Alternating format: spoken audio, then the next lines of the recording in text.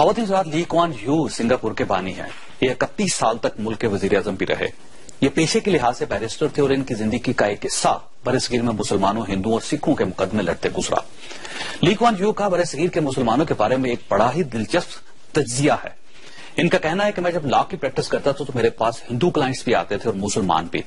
मैं उनके केस की स्टडी करके उन्हें बता देता था कि आपके केस में जान है। आप केस फ़ाइल कर दें, या फिर आपका मुकदमा कमज़ोर है, आप ये केस हार जाएँगे, आप ये मुकदमा दायर न करें। मेरी दूसरी ऑब्जर्वेशन पर अमूमन हिंदुओं का रवैया मसालेहाना होता था। ये कहते थे, आप दूसरी पार्टी से हमारी सुलह करवा दे। मैं दोनों पार्टियों को आमने सामने बिठाता था और ये लोग बातचीत से मसला हल कर लेते थे। लेकिन मुसलमानों के बारे में मेरा तजुर्बा बिल्कुल मुख्तलिफ़ था। मैं जब इन्हें यह बताता था कि आपका केस कमज़ोर है, आप ये मुकदमा हार जाएँगे तो ये फ़ौरन कहते थे, अल्लाह मालिक है, आप बस केस दायर करें। मैं मुकदमा लड़ूँगा, मैं फोत हो गया तो मेरा बेटा केस लड़ेगा। और अगर वो भी फोत हो गया तो उसका बेटा केस लड़ेगा। हम इस केस में नस्लें लगा देंगे, मर जाएँगे घास खा लेंगे, लेकिन पीछे नहीं हटेंगे। इसके बाद ली कुआन यू ने ऑब्जर्वेशन दी कि जो कौम अपनी अगली नस्ल को तनाजे और मसाइल देकर जाए, वो खाक तरक्की करेगी। हम खातन हजरात ली कुआन यू की बात से इख्तलाफ कर सकते हैं, लेकिन हम इसे मुकम्मल तौर पर मुस्तरद नहीं कर सकते।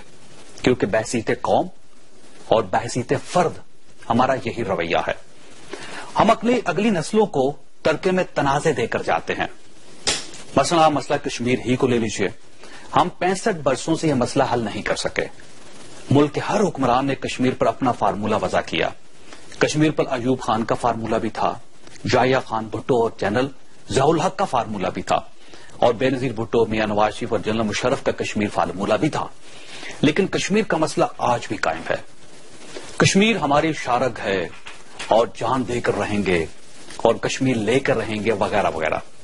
ये सुनते सुनते हमारी तीन नस्लें जवान हो चुकी हैं, लेकिन मसला हल नहीं हुआ। हमारी एक हुकूमत, ये मसला अगली हुकूमत को ट्रांसफ़र कर जाती है और अगली हुकूमत फ़ाइल में रखकर उससे अगली हुकूमत को पेश कर देती है और आज हालत ये है कि हमने मसला कश्मीर को पाँच फरवरी तक महदूद कर दिया है। हम हर साल पाँच फरवरी को छुट्टी करते हैं, तकरीरें झाड़ते हैं और घर जाकर सो जाते हैं और ये है हमारी कश्मीर पॉलिसी। चलिए साहब, कश्मीर बैन अवी मसला है। हम इसे भारत के खाते में डालकर खुद को मुतमिन कर सकते हैं। लेकिन क्या हमने अपने अंदरूनी मसले हल कर लिए? हमें बिजली, रेलवे, स्टील मिल पीआईए और फिरका वारियत के मसाइल हल करने के लिए तो यूएन की किसी करारदाद किसी हमसाए और किसी बैरूनी ताकत की ज़रूरत नहीं। ये तो मसाइल ही हमारे हैं और इन्हें हल भी हम ही नहीं करना है। फिर हम ये मसाइल हल क्यों नहीं कर रहे? मसला सिर्फ़ अप्रोच का है। हमारी अप्रोच दुरुस्त नहीं। हमने मसाइल हल करने की आदत ही नहीं डाली।